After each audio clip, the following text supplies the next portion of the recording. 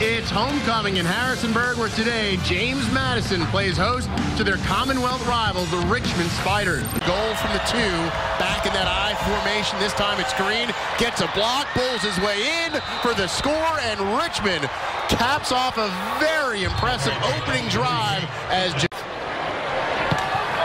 Lee's going to pass, good protection, goes for the end zone, and a score to Domo Taylor. So James Madison gets one punch in the mouth and comes right back swinging, and they're right back in this game. Stream Lee here. And Khalid Abdullah, too, with 10 touchdowns rushing. They fake to Abdullah. Lee walks in for a score. So many weapons. JMU's on top. And there's Gordon Collins who got the run, and now a play action. Lauletta looking for the home run ball, middle of the field. It's kind of up for grabs, and he's got his man. It's Brian Brown, and he's going to take it to house. A touchdown of 79 yards. Lauletta to Brian. Did Ravenel. And there's Lee on the keeper, and he gets in for a tremendous touchdown for the Dukes. One seconds left in the half. And he's going deep, middle of the field. He's got a guy, and that's going to go for six. Rashard Davis, are you kidding?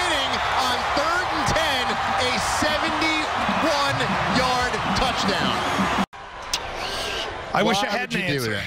A redshirt junior.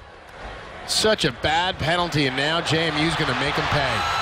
Lee walks in for his third rushing touchdown and immediately looks for Khalid Abdullah, who had a great block this Duke's defense trouble. Brown's now got 122 yards, and now Green gets through a hole, and he's going to go in for the score. Touchdown. Richmond answers, and why wouldn't they? This game is fantastic. Now we're probably seeing play action. Nope, straight hand up. Fourth touchdown of the game for Jacobi uh, Green and Richmond amazing, has regained the lead now on JMU late in the Green already has four touchdowns rushing. Lauletta's going to throw, and he's got his man wide open in the end zone. Garrett Hudson for a score. Richmond led by 11 late in the first half, now up 13 on James Madison early. From Schor. Schor, keeper, turns his back, and gets in for a score. Bryan Schor comes off the bench for a gimpy Vad and punches it in, and James Madison can cut it to seven again. Second and goal from the seven.